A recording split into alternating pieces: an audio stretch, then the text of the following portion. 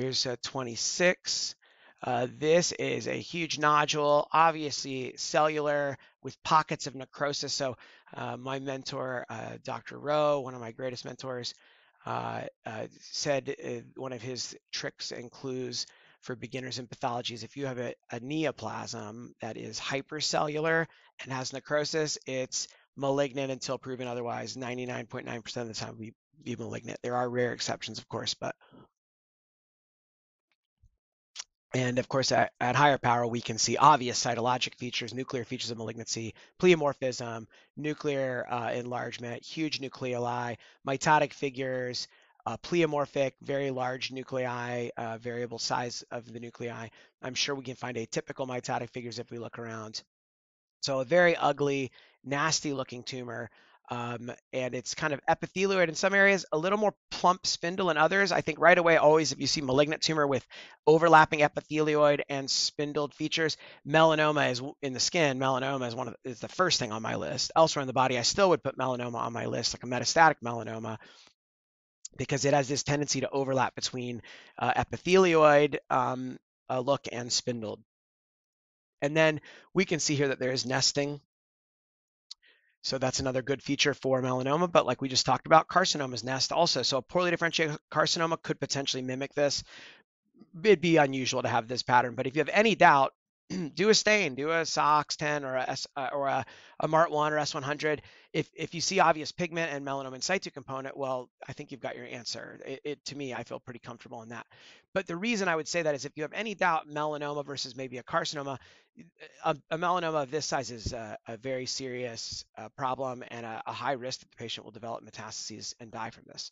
So it is a very serious life-changing diagnosis you're giving someone to give someone a, a nodular melanoma with a Breslow of, you know, whatever that is, 15, 10 plus millimeters, probably, I don't know, eight or 10 millimeters maybe. So here, um, sometimes in these big nodular melanomas, they grow quickly and bulge up from the skin. And you can see it's kind of weird. It's super thick, but look, it doesn't really go much deeper than the normal epidermis next to it. And this is common, these polypoid uh, melanomas that are nodular that get ulcerated on the surface and that look clinically sometimes amelanotic or look like pyogenic granulomas clinically. That's why always, I think, in my opinion, a pyogenic granuloma or something apparently pyogenic granuloma clinically, in my opinion, should always be biopsied because amelanotic melanoma that's that's ulcerated can look identical clinically. So to me, I feel like anything that looks like a PG um, that's not ever been sampled should re should receive a biopsy. That's that's my viewpoint. So these lesions can be really thick, but sometimes still confined to the dermis. This one is going into the subcutis.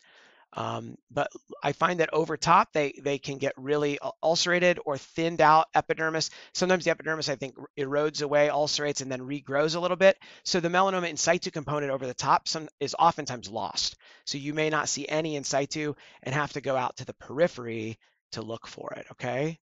And a true nodular melanoma, I think it was Dr. Clark uh, Wally Clark of, of very famous dermpath, the one who invented Clark level and, and many other things uh, that he published, was the one I think that said that the to be a true nodular melanoma, the in situ component shouldn't go more than three rete ridges beyond the dermal component.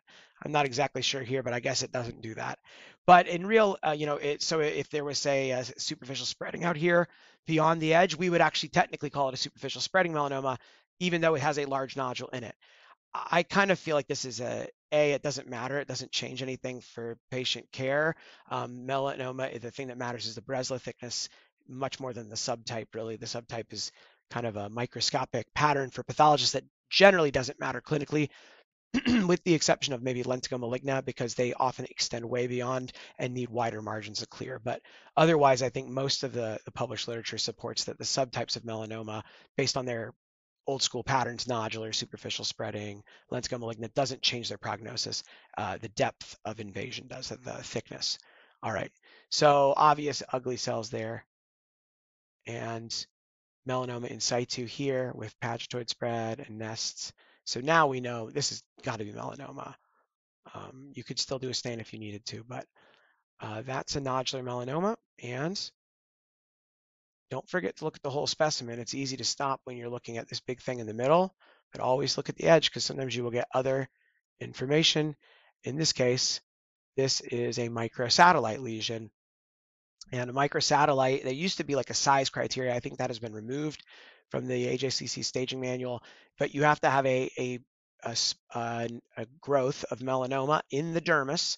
So it can't be like a intralymphatic or, or, or perineural focus. It has to be in the dermis itself, and it has to be obviously divided from the main melanoma by an area of normal dermis. Now, this dermis has solar elastosis, but by normal, I mean not dermis that's inflamed and scarred or regression-like, because then it might actually be just an area that's been detached from the main melanoma by regression, right? So there needs to be, and, and also you need to, in my opinion, need to make sure that you're not dealing with a tangential cut. Sometimes melanomas can, big melanomas can grow in a complex fashion, and depending on the angle of the cut, you can have an area down deep that may connect up to the main melanoma, but just be deeper in the section and you just can't see it, or the next block over.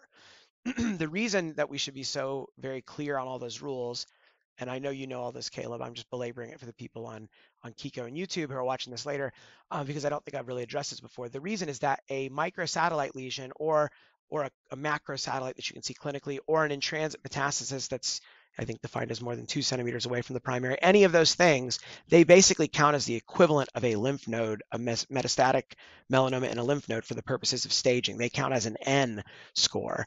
And in fact, if you have a lymph node plus even one lymph node, I think I always have to look these uh, ends up to make sure I get the subtyping right. But uh, a microsatellite or a macrosatellite or in transit met plus a positive lymph node bumps you uh, well beyond a positive lymph node would be N1, and depending on uh, the letter, the little letter would depend on the some other features. But uh, if you have a satellite plus that, plus a lymph node, it bumps you all the way up into um, N3, actually, I believe.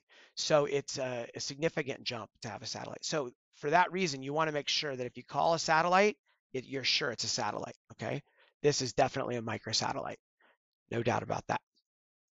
All right, so there you go. I think that I looked at that the other day. I think that I wasn't sure if that was actually a satellite a microsatellite? I think it probably is. I thought maybe it could be floater at first, but it actually looks like it is in the tissue there.